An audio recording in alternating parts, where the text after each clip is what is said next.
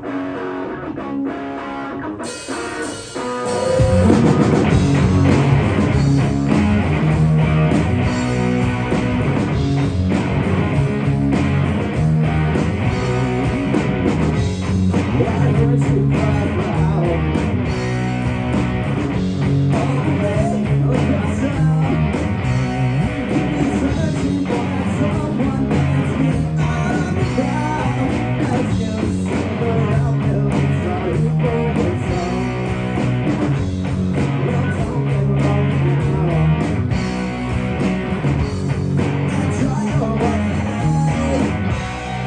It's a moment, one moment